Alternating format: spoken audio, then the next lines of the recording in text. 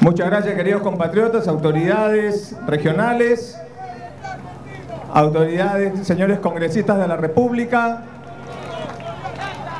Hoy día vengo a saludarlos con la excusa de una inversión de casi 30 millones en lo que es prevención eh, contra el fenómeno del niño, que ojalá no llegue, pero cuando yo estaba de cadete, el año 82 me parece, aquí hubo un fenómeno del niño que arrasó más de un millón doscientas mil viviendas, más de 200 muertos y víctimas por miles. Y después hace poco también tuvimos otro fenómeno del niño duro. Así que los piuranos y las piuranas ya sabemos lo que significa el fenómeno del niño. Por eso es que en el mes de agosto presentamos un proyecto de ley y lo aprobamos en el Congreso para otorgar 4 mil, perdón, 3 mil millones de soles en medidas para prevenir un fenómeno del niño. Esta es una parte de estas medidas que permiten, después de no sé cuánto tiempo que están, se está haciendo acá una limpieza, eh, una descolmatación del río Piura, no sé cuánto tiempo, hace cuánto tiempo que no lo hacen.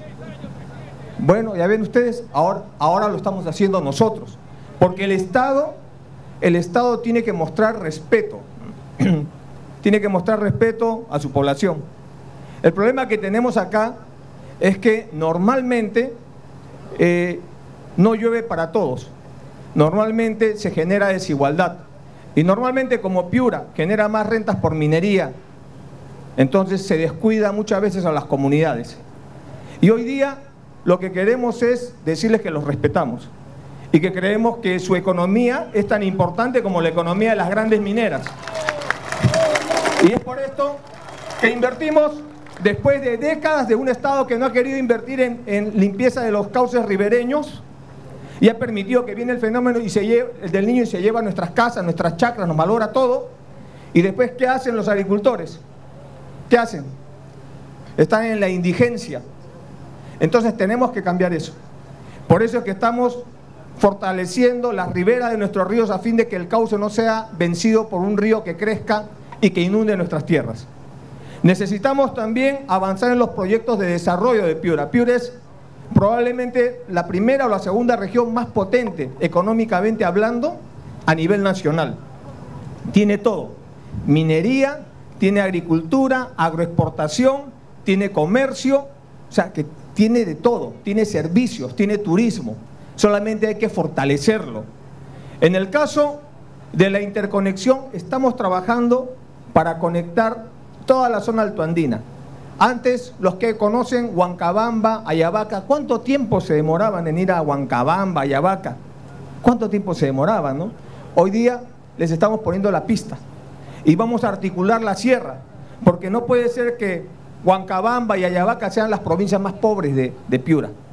¿Por qué la sierra siempre tiene que pagar los platos rotos? Eh, probablemente muchos de acá vienen de la zona de sierra, o sus padres vienen de la zona de sierra, como fue mi caso de mi familia, que mi, padre, mi familia viene de Ayacucho. ¿no? Y vienen ¿por qué? Porque no hay oportunidades arriba. No hay carretera, no hay servicios, muchas veces no hay ni hospital, no hay buena educación, no hay un tecnológico, no hay una universidad, entonces vienen abajo. Pues vienen a buscar oportunidades acá, pero como esto ya está ocupado, agarramos los arenales, nos colocamos en los arenales y tratamos poco a poco de resistir ahí. A través de invasiones tratamos de resistir hasta que ya nos dan nuestro título de propiedad, nuestra chacrita, pero pasaron décadas. Pasaron décadas en las cuales no pudimos darle construir una oportunidad educativa a nuestros hijos. Y salen, ¿salen a qué? Salen a la vida a, a manejar un mototaxi salen a vender caramelos. Y eso no les va a dar desarrollo, no les va a mejorar la economía. Eso nos va a hacer sobrevivir nada más. Necesitamos la educación. Necesitamos fortalecer nuestras, nuestras actividades productivas como es la agricultura. En la agricultura, el problema que tenemos es que somos arroceros y nos hemos acostumbrado a ser arroceros. Somos uno de los pocos países en el mundo que se dé el lujo de sembrar arroz en, el arenal, en el desierto. Y eso requiere mucho esfuerzo de inyectarle agua, porque el arroz necesita mucha agua. Pero es rentable y nos ha dado, nos ha dado lo que tenemos ahora. Por eso no somos malagradecidos con el arroz y lo sembramos. Pero el problema es que cuando hay una buena cosecha un año, todo el mundo siembra arroz y se tumba el precio del arroz al siguiente año. Yo les, les propongo que reflexionen y exploremos nuevos cultivos. Hemos creado el programa, efectivamente el programa Proquinoa, que estamos sembrando algo de 500 hectáreas aquí en la zona norte.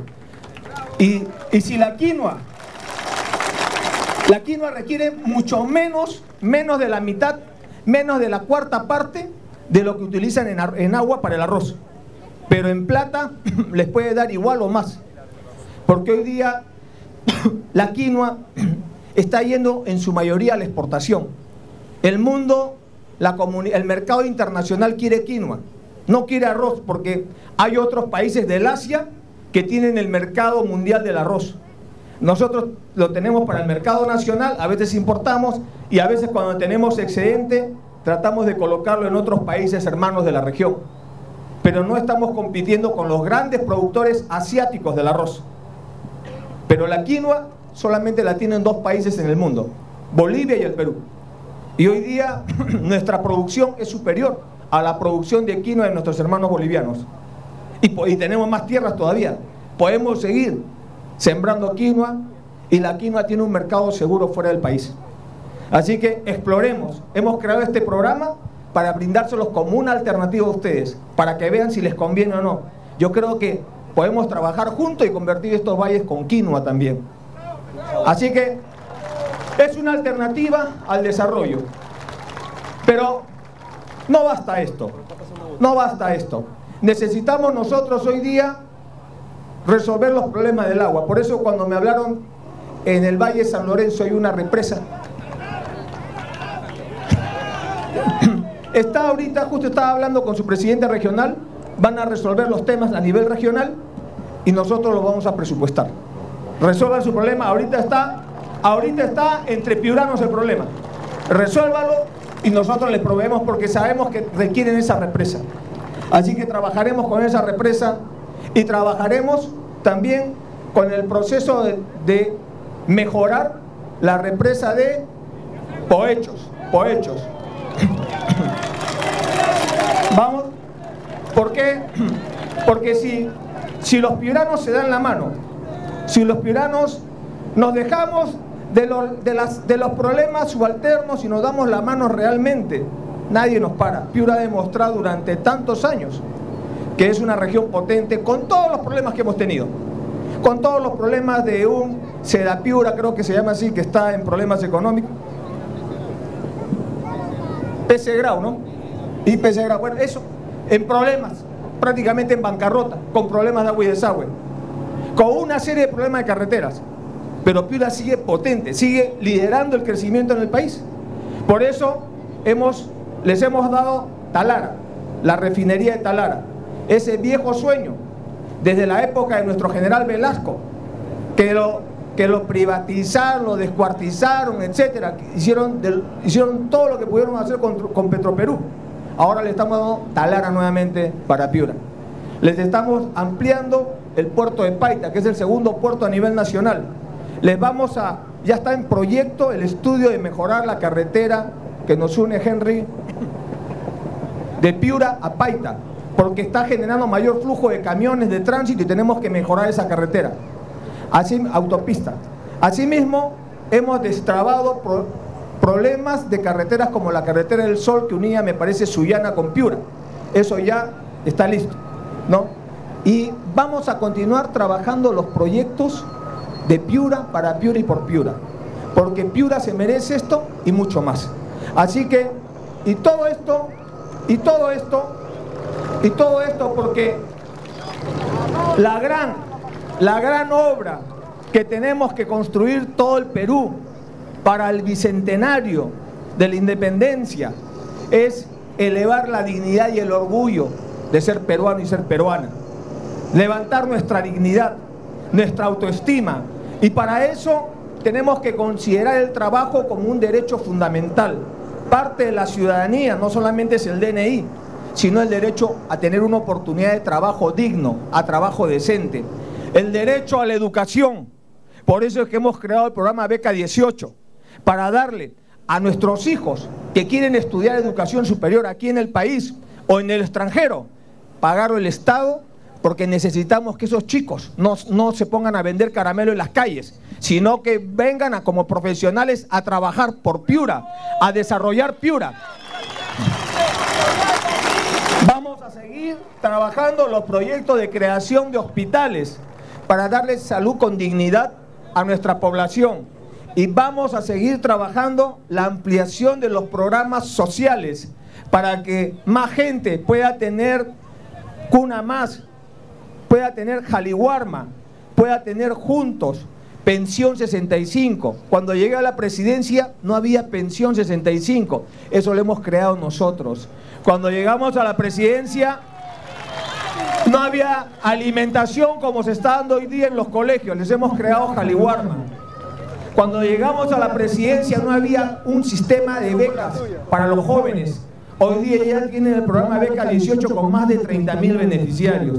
Cuando llegamos a la presidencia, no había el Fondo de Inclusión Social Energético, el FICE.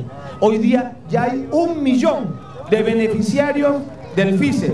Y tenemos que seguir ampliándolos porque de repente si no ha llegado a tu casa, tenemos que apurarnos para llegar a tu casa. Con el FICE, con Cocina Perú, porque necesitamos llevar el gas barato, que sabemos que hoy día Todavía estamos luchando contra ese balón que vale 35, 40 soles. Por eso estamos conectando, estamos masificando la utilización del gas doméstico y queremos que Piura, en el norte, sea la primera región en ponerse las pilas para que tengamos este gas barato también. Por eso es que estamos trabajando duro por ustedes y para ustedes, porque creemos que la dignidad del pueblo, el orgullo del pueblo peruano es lo fundamental. Todos somos iguales, no importa el color de la piel, no importa si tenemos plata o no tenemos plata. Para este gobierno, los últimos de la cola van a ser los primeros. Y así tenemos que seguir trabajando con humildad, con decisión, con firmeza, con nacionalismo, con patriotismo, porque no los vamos a abandonar. Mucho tiempo ha esperado el pueblo. El pueblo siempre ha dicho que el pueblo unido jamás será vencido. Bueno, ahora tenemos que unir a todo el pueblo para que no sea vencido. Muchas gracias. Que viva Piura y que viva el Perú. Muchas gracias.